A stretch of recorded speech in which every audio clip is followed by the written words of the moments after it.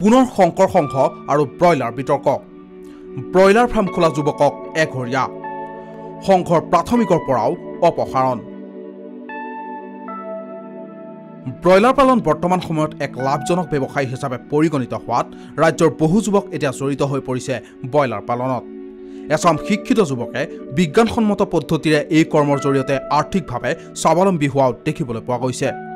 শেহতীয়াকৈ যোৱাটো বৰ্ষতে আৰম্ভ হোৱা মহামাৰী কৰোণাৰ ভয়াৱহ পৰিস্থিতিৰ সময়ছোৱাত সংস্থাপন হেৰুৱাবলগীয়া হৈছে বহিৰাজ্যত কৰ্মৰত বহু যুৱকে।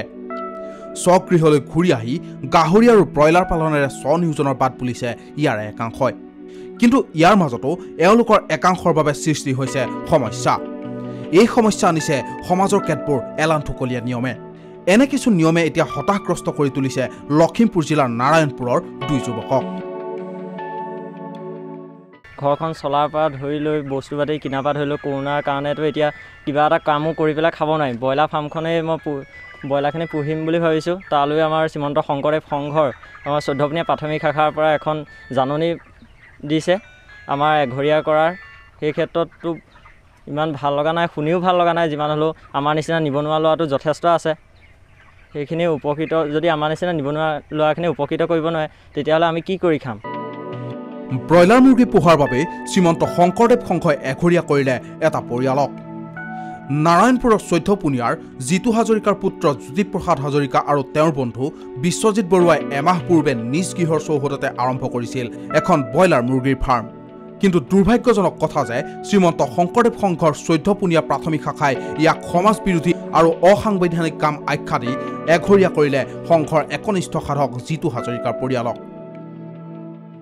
নাই আজিৰ পৰা পোন্ধৰ দিনমান আগত যিহেতু নামঘৰত এখন ৰাজহুৱা সভা দিলে এওঁলোকে ব্ৰইলাৰ যেতিয়া মানে ব্ৰইলাৰখিনি পোৱালি আনিছে তেতিয়াই লগে লগে নামঘৰত ৰাজহুৱা সভা জৰুৰীভাৱে ৰাজহুৱা সভা দি পেলাই সেইদিনাখনেই মোক জনাইছে যে প্ৰাথমিকৰ পৰা প্ৰাথমিকৰ লগত কোনো খোৱা লোৱা কৰিব নোৱাৰে সেই ব্যৱস্থাটো প্ৰাথমিকে কৰিছে আৰু ইতিমধ্যে কালি সম্পাদকে আহি পেলাই মোৰ ঘৰত এখন কাগজ দিছে যে অসাংবিধানিকভাৱে মই এনে কাৰ্য কৰিছোঁ সেইকাৰণে মোৰ ঘৰত কোনো খোৱা বোৱা ব্যৱস্থা নহয় আৰু প্ৰাথমিকৰ পৰা মোক এঘৰীয়া কৰিছে। চৈধ্যপনীয়া প্ৰাথমিক শাখা।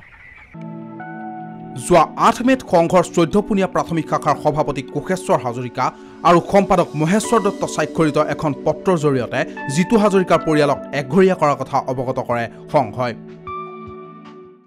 কি ক'ব আচলতে এনেহেন সময়ত? নাই নাই এই যিহেতু এতিয়া দেশখনেই কৰোণা মহামাৰীত মানে পোত গৈ আছে এই সংকটৰ সময়ত মই এটা কথাই শ্ৰীমন্ত শংকৰদেৱ সংঘৰ পদাধিকাৰ প্ৰভু তথা প্ৰধান সম্পাদকদ্বয়ক মানে নিবেদন কৰিব বিচাৰিছোঁ যে তেওঁলোকে যাতে এই নিবনুৱাসকলক এনেধৰণৰ সংস্থাপন কিছুমানৰ পথ মুকলি কৰি দিয়ে তাৰ কাৰণে মই আহ্বান জনাইছোঁ। শ্ৰীমন্ত শংকৰদেৱ সংঘৰ এনে কৰ্মকাণ্ডই এতিয়া সমগ্ৰ নাৰায়ণপুৰ অঞ্চলতে তীব্ৰ প্ৰতিক্ৰিয়াৰ সৃষ্টি কৰিছে। আনহাতে পুত্ৰৰ স্বাৱলম্বিতাৰ প্ৰয়াসত শ্ৰীমন্ত শংকৰদেৱ সংঘৰ চৈধ্যপোনীয়া প্ৰাথমিক শাখাই জাৰি কৰা আকস্মিক নিষেধাজ্ঞাত হতভম্ব হৈ পৰাৰ লগতে দুখ প্ৰকাশ কৰিছে জিতু হাজৰিকাই। বিজ্ঞানৰ এই দিনত শ্ৰীমন্ত শংকৰদেৱ সংঘৰ দৰে এটা অগ্ৰণী অনুষ্ঠানে জাৰি কৰা অবাঞ্ছিত নিষেধাজ্ঞাই আচৰিত কৰি তুলিছে সকলোকে। যি সময়ত শিক্ষিত নিবনুৱা যুৱকসকলে ব্ৰইলাৰ পালনৰ দৰে কাৰ্যত ব্ৰতী হৈ আত্মনিৰ্ভৰ হোৱাৰ প্ৰয়াস কৰিছে তেনে সময়তে সংঘৰ এনে এলান্ধুকলীয়া চিন্তাক গৰিহণা দিছে সকলোৱে।